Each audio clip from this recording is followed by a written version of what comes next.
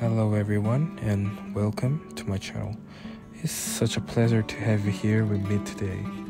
Although I'm new to YouTube, I wanted to take this opportunity to share a bit about myself and my journey ahead.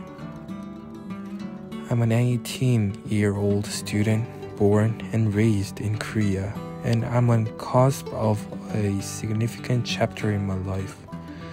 I've always been fascinated about art and it's my dream to pursue it as a career in the future.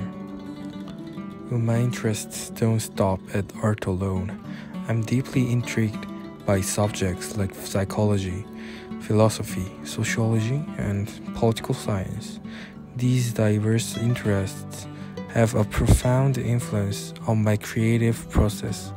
When I create art, I strive to infuse it with critical, creative, and intellectual thinking, giving my work a deeper and more meaningful dimension.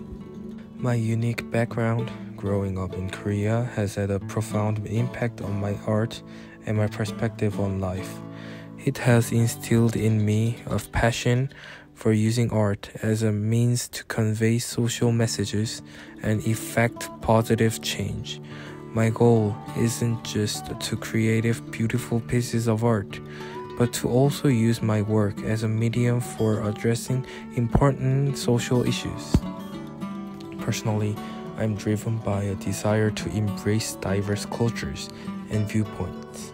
I believe that by immersing myself in the international community, I can gain the insights and experiences necessary to create art that reflects the complexities of our global society.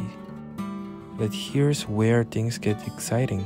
In addition to sharing my journey and art with you, I'm also planning to weave in elements of Korean culture and history. Through my videos, I want to introduce you to the rich tapestry of Korean art, its history, and the unique perspectives it offers.